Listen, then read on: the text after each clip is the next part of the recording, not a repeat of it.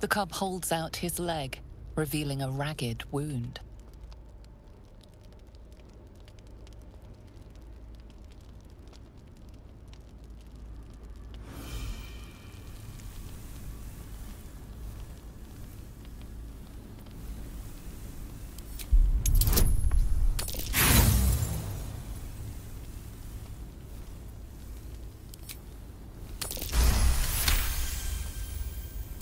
As the wound closes, the cub begins testing his weight on the leg.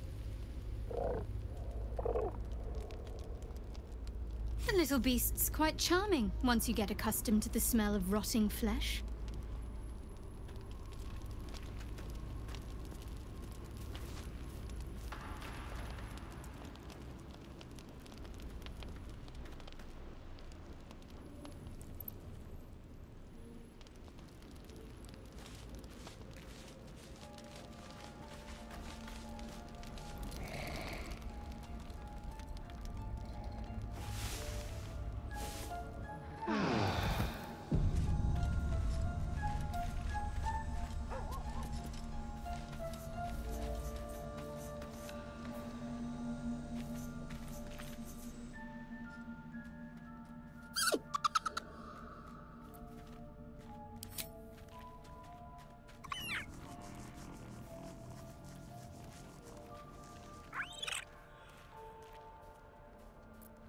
Camp life seems to suit the young owlbear. His coat of feathers seems fuller, his eyes look bright and inquisitive.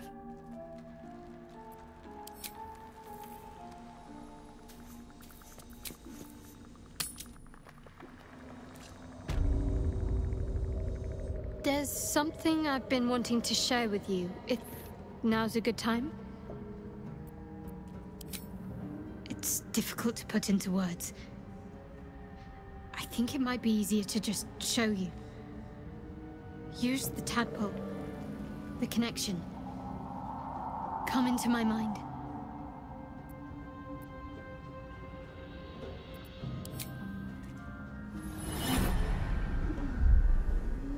I don't remember how it started. Only how it ended. I was fleeing.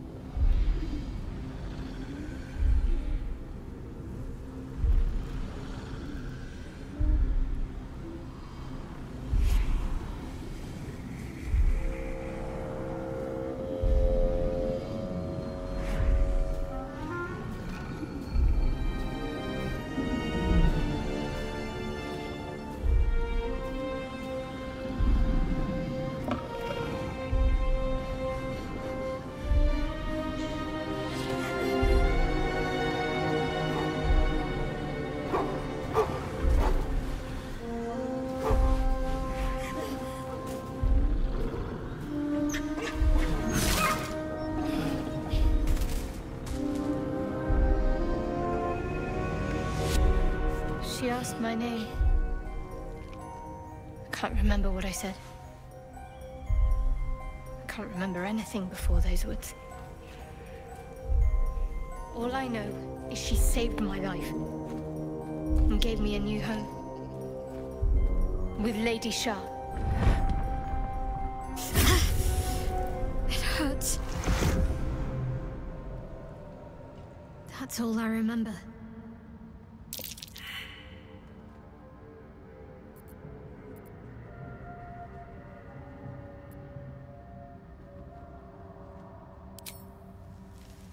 I'd agree. But with you, it's getting easier by the moment.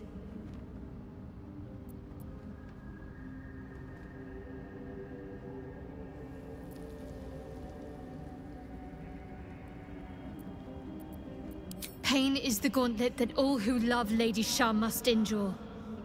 Only her embrace can truly heal me. To try and Salve myself would do nothing but shame me in the Night Singer's eyes.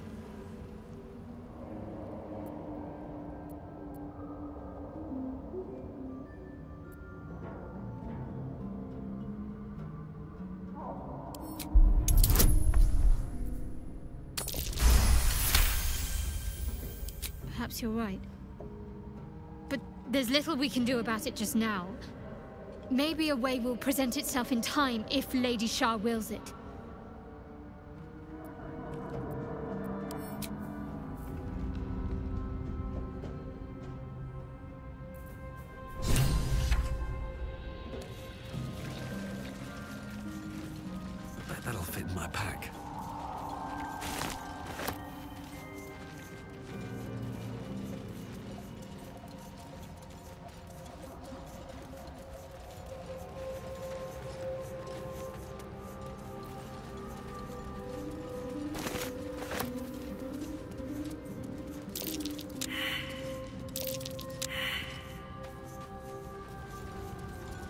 Slender drow blade impales the stone before you, keeping a silent vigil.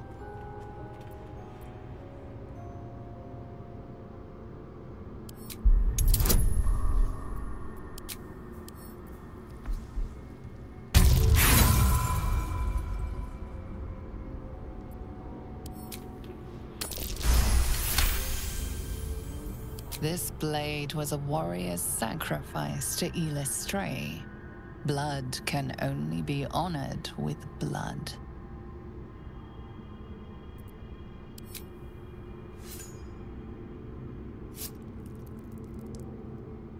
The drow script inscribed on the blade flickers and glows.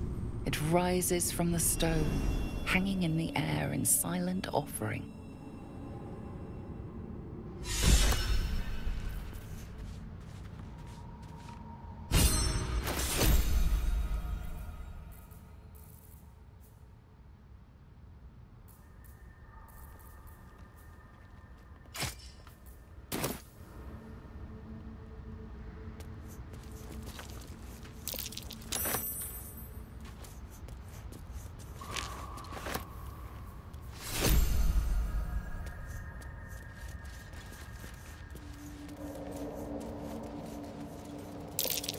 Timmasks, known to cause confusion. Best not to get too close.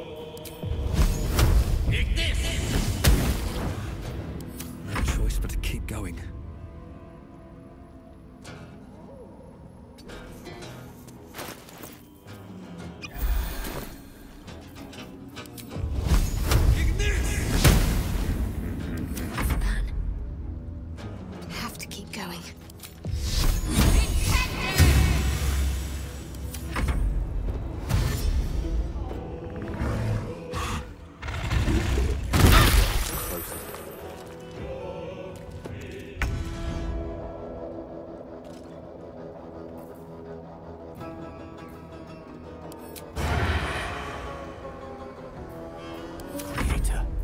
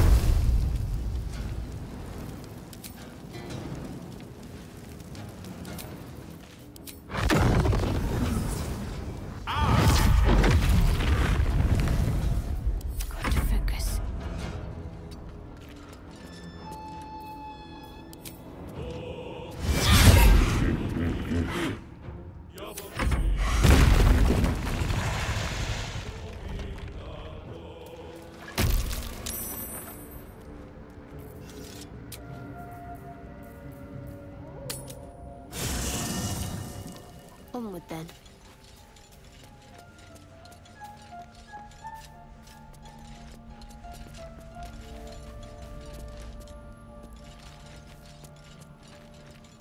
Let's see what's to be said. I shall be here in thy camp for whenever thou hast need of my services.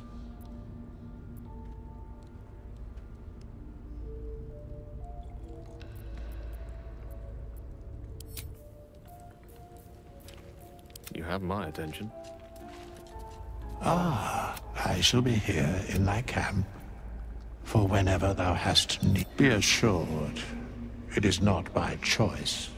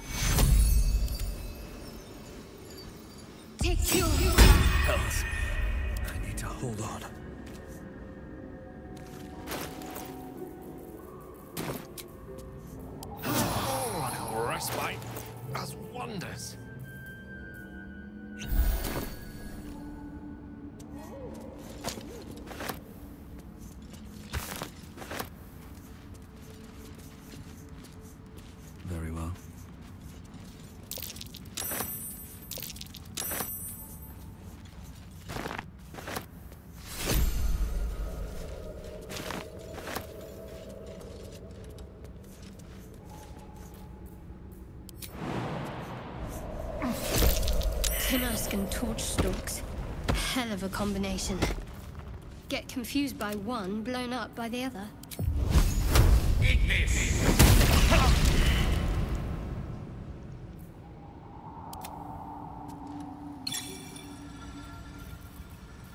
Let me work my magic.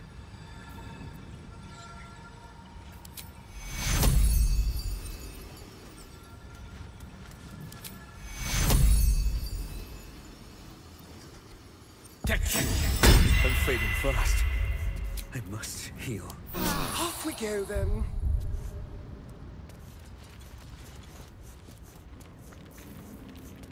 We're a long way from Waterdeep.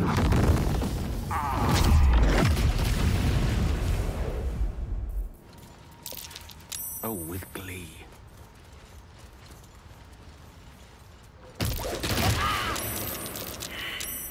Still breathing, despite everything. More for me. On my way.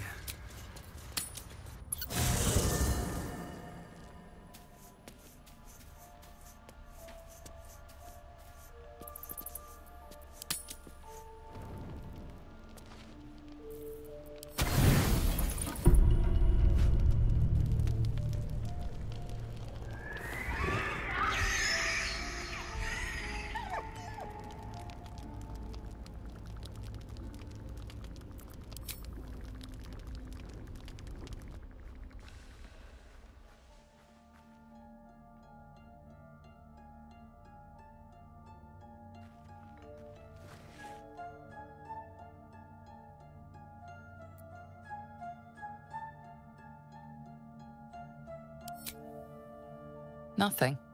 Both animals look fine.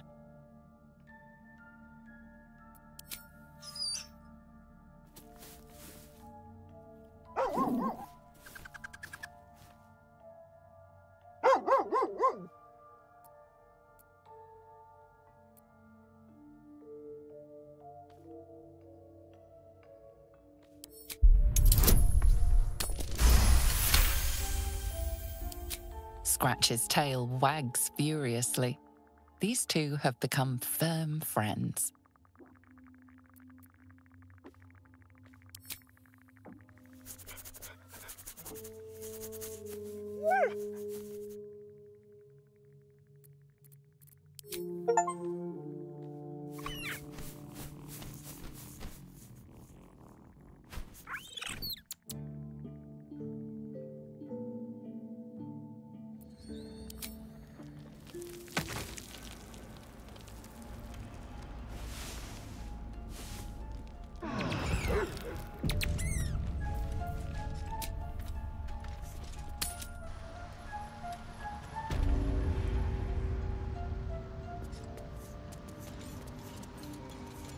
Something to ask. You are swallowed by a chorus of turbulent music. Through one creature sing many voices, the harmony of an entire collective. Sovereign, he has come. He is here. The choir fades. A single melody rises above the others, brassy and commanding. I am sovereign. You see a vision. Your lifeless body wrapped in fungal tendrils. The Sovereign is threatening you. State your purpose.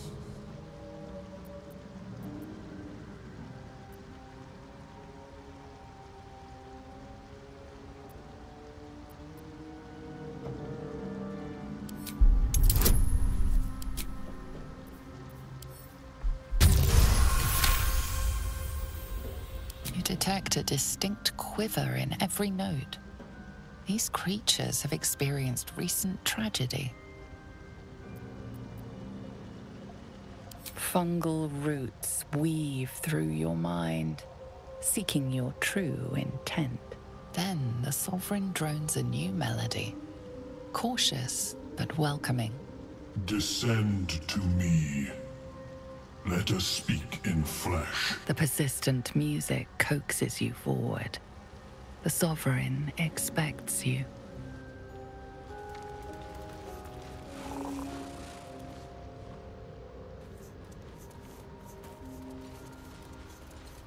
What's inside?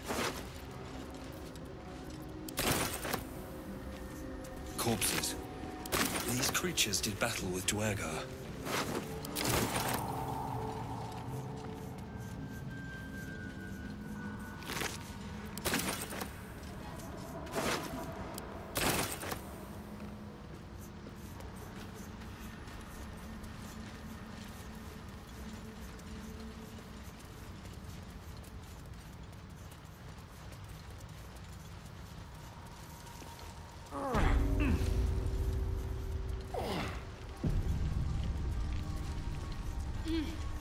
Fungus and mold glaze the grotesque creature's face and body. A voice drifts into your mind as you gaze upon the misshapen servant. Leave this one. Come to me. We must speak.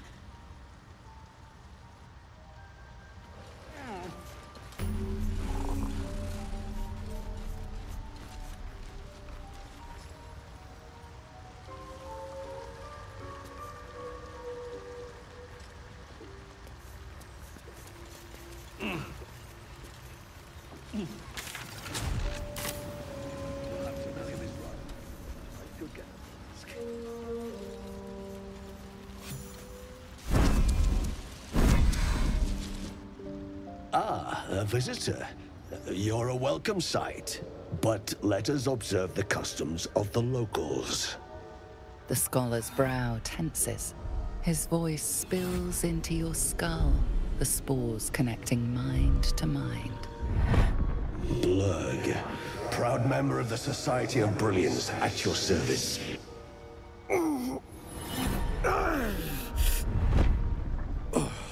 Or perhaps not. Mm, Your mind is far more complex than that of the fungi. Understandable. We are small in number and rarely stay in one place for long. My colleagues and I are working to improve conditions in the Underdark. This need not be such a dire, hostile place. It's curious to find a surface dweller here. What has brought you down so deep?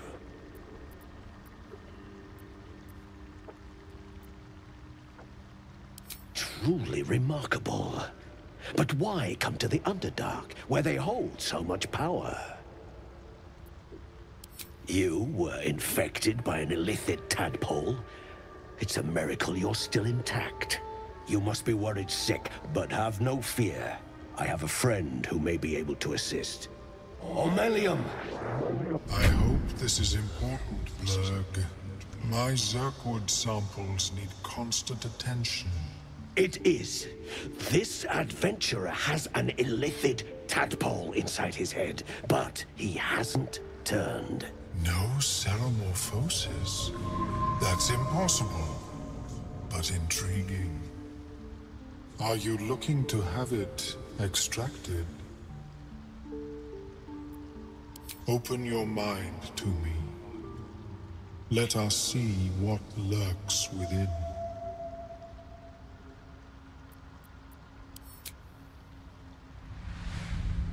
As the Meloan's mind pierces yours, the tadpole pulses with power. It feels ten times its size. Alive, awake, almost smug. This is most unusual. The incubation period should be complete, as should your transformation. But the larva is infused with strange magic. It appears to be in some form of stasis.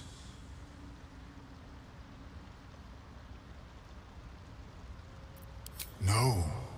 It appears to be shielded from physical and magical influence. And even without the shield, the extraction would involve severe cranial trauma.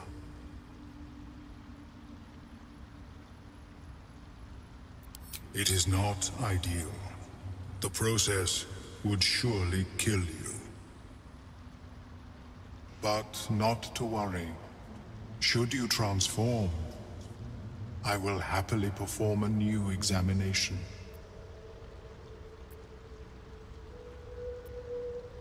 A Nautiloid?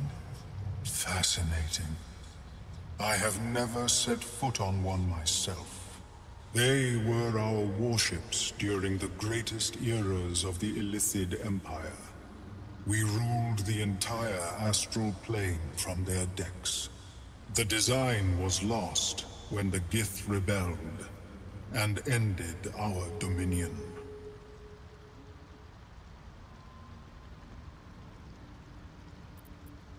Of course.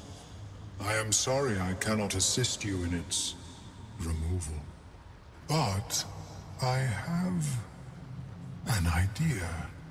Oh, perhaps I should start taking notes. There may be a way to bypass that stasis. There are many alchemical substances that can influence the mind. A tincture distilled from a collection of rare mushrooms. They have subtle psionic influence. I would require a fresh Tongue of Madness and Timmask spores. But be warned, in their natural state, both of these mushrooms can be quite dangerous. Timmasks cause confusion in those that approach them. The tongue is self-explanatory.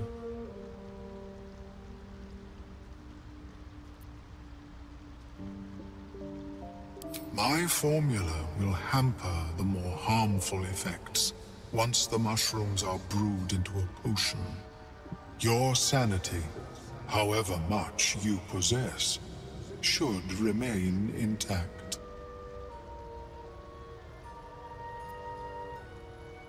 The Underdark, of course, although they are quite rare, and their discovery perilous. I imagine Lenore would have them in her possession. She served Mystra as a cleric. She She is quite fond of her garden. Lenore has always been a lonely sort. Uh, nature was her only companion. I offered her the chance to join the society, but she refused. Her experiments on Sussur bark took priority.